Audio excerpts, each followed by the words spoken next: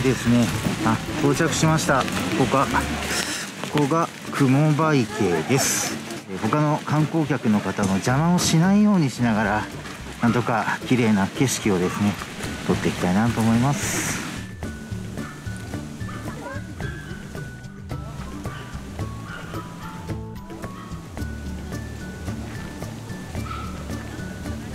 天気が良ければここにこの水面に映る紅葉が楽しめるはずだったんですが。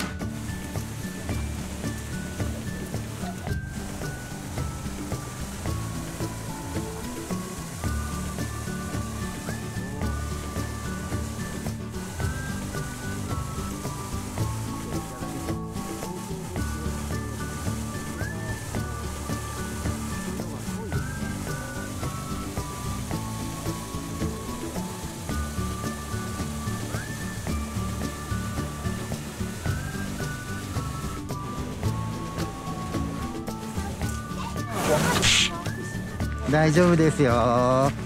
景色もそうだけど。おじさんがぼーっとしててごめんね。違うよじ僕のことを言ったんだよ。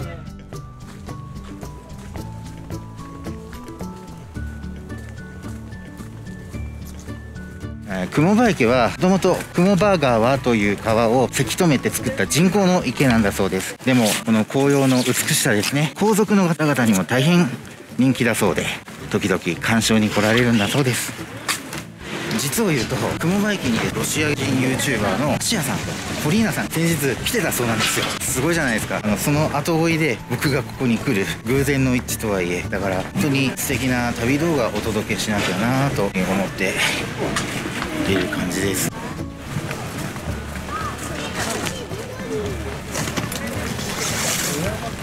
あー雨がなければね良かったんですけど。